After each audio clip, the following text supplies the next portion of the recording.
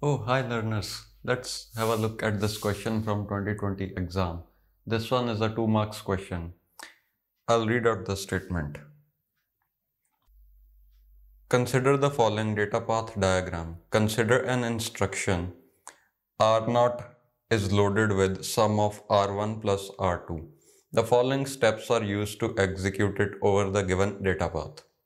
Assume that PC is incremented appropriately the subscripts R and W indicate read and write operations respectively.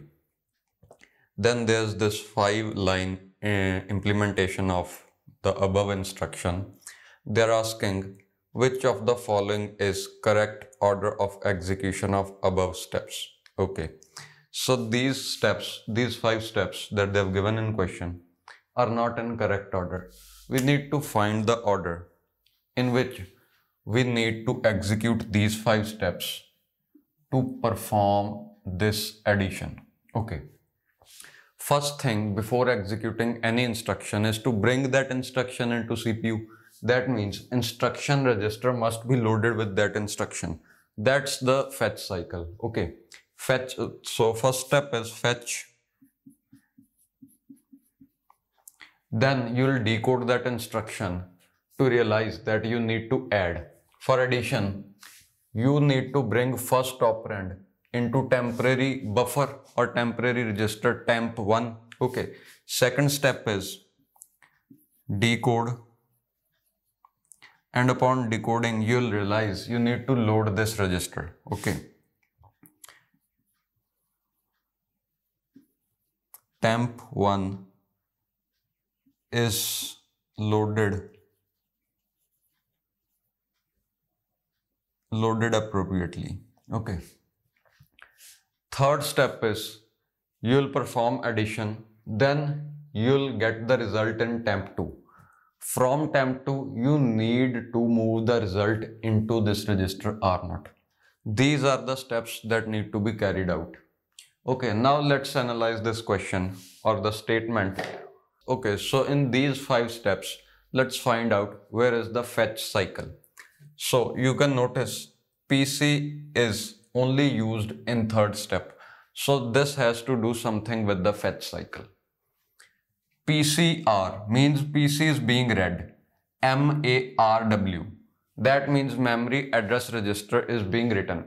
What's happening is this register, this PC is given a read, uh, read control signal and memory address register is given a write signal. That means its value travels to MAR. Memory address register gets whatever address was stored in program counter. So I am sure probably by now you know that only these two registers are in direct contact or connection with memory. This one stores the address, whatever address we want to search or update. Yeah, it's saved in memory address register and whatever data we want to save is saved in MDR or the data that is fetched from this particular address gets saved into MDR. Okay. Now we have loaded this address into MAR. Okay, so this address from here travels to this register. And second step is memory is given a read signal. So this register is loaded appropriately. After this, you can just issue a read instruction or read signal to memory. That way, memory will be read at this address, okay, MAR, which is actually the address saved in PC. So instruction number three is going to be the first one. I'll, I'll not call it an instruction, it's a micro operation, you can say. Then after this, whatever is loaded from memory, you know that it will travel via the data bus and will sit in this register called MDR. Okay.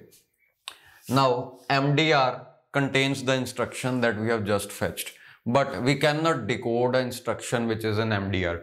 We have a special register called the instruction register for this purpose. That means this fifth step is going to be going to follow this third one because we need to move our instruction from MDR to instruction register. Okay. By executing these two steps, what we have what we have done is fetched the instruction and placed it in instruction register. Now the hardware will decode it and the CPU will get to know it's a add instruction. Okay. For adding, we need one of the operand in this register, which is temp1. So let's see where do we have temp1. Here, it's temp1. Okay. Here also we have temp1. So probably this one is the next step because R1's value, the first operand, this R1 is being moved into temp1. How? How is it being moved? Because we are giving a read signal to R1. That means CPU wants to read. Rather the bus wants to read from R1 and temp1 is given a write signal. That means you're telling this register temp1 to copy whatever value is on bus. Okay, so uh, R1, R1 is here.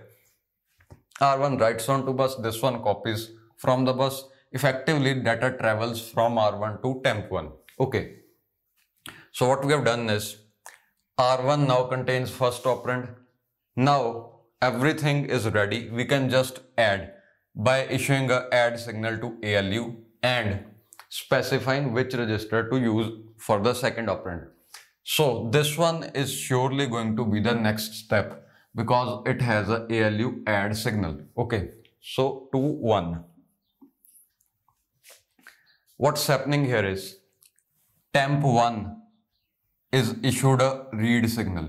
That means temp1 will place its value onto this bus, the bus which connects temp1 to ALU.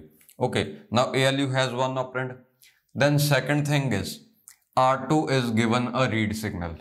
That means R2, R2 will be somewhere here, will place its value on this bus, which effectively means its value will also be available here. That means as a second operand to the ALU. Okay, ALU now has both of the operands available. It will add and the result is written into T2 because T2 is given a write signal. Okay, that means T2 will copy the value present on this bus. Now what we have done is we have added R1 and R2. The result is available here. The only thing that needs to be done is copy this result into the desired location which is R0. So the step is fourth one. Yeah. You can notice temp2 is being read. That means the bus reads from this register and R0 copies the value. This register will copy it. Okay. So by doing these five steps in this order, we can effectively add two values. Okay, so your answer is 35214. You can see which option it is or let me verify if it's even present. 35214. Yeah, it's option C. So your answer is C. And I hope to see you in the next video.